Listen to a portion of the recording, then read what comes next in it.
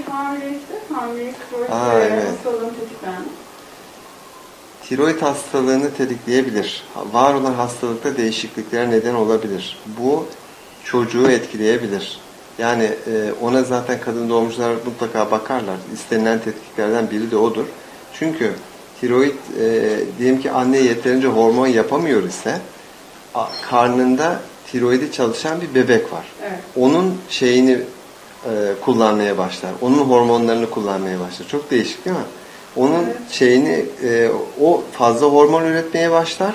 Bu sefer annenin ihtiyacını karşılamak için. O da bebekte bazı başka problemlere neden olur. Onun için annenin hormonlarını normal tutarlar ki bebeğinki de normal gelişsin diye.